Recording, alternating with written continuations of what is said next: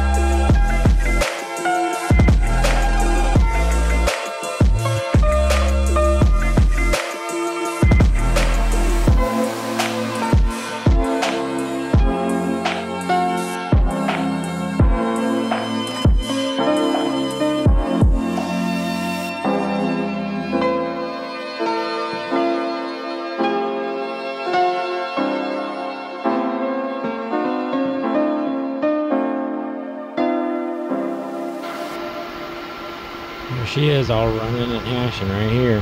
This one is the one that we just did. I got all three of these boards testing. I gotta run them for probably another day to make sure everything's working good and stays working. Alright, thanks for watching. See you next time.